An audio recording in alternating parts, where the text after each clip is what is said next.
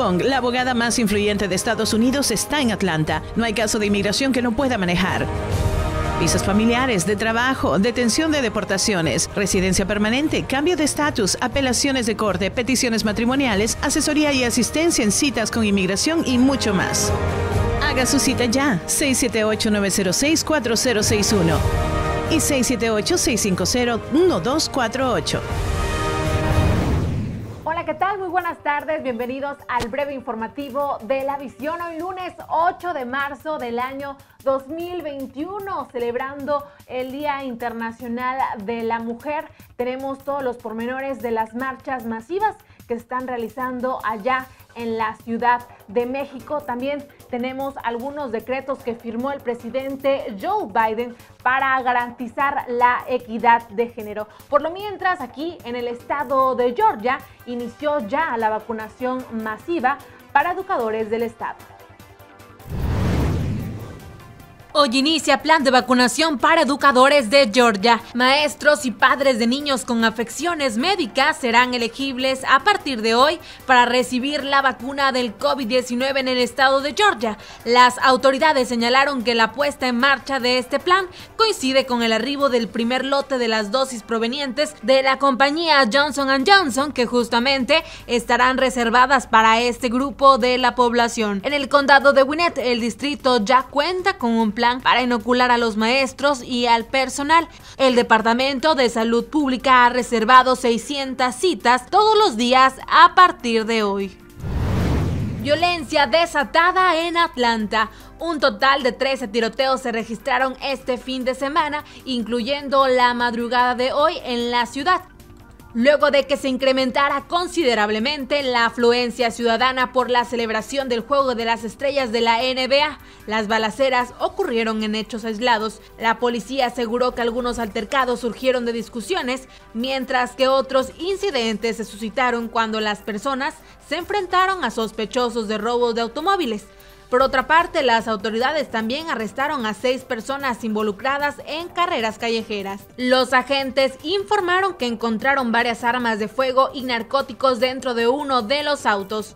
También esta mañana dos hombres fueron baleados en un complejo de apartamentos ubicado en el 305 Centennial Olympic Park Drive. Los oficiales llegaron a la escena y encontraron a los ciudadanos aún con vida, trasladándolos de emergencia a un hospital cercano.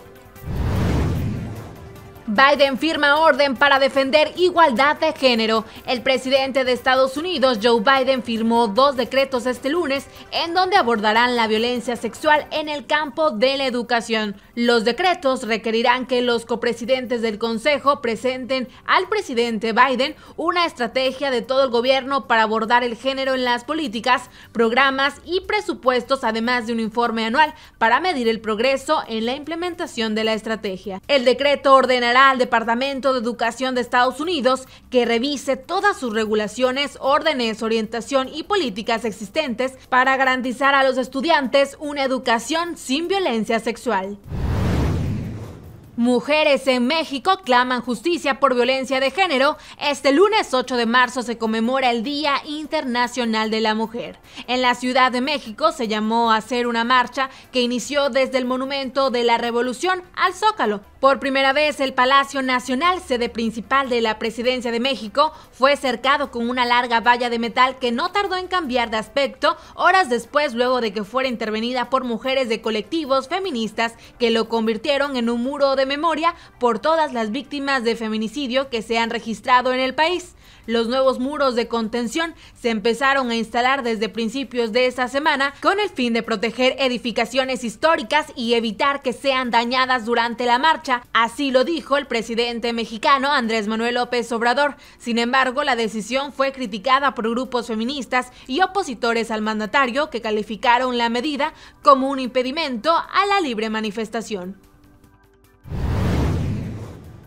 Justamente cuando se da el banderazo para la vacunación de educadores, niños con afecciones médicas y sus padres adultos con discapacidades, ya en el estado de Georgia tenemos cifras de casos confirmados.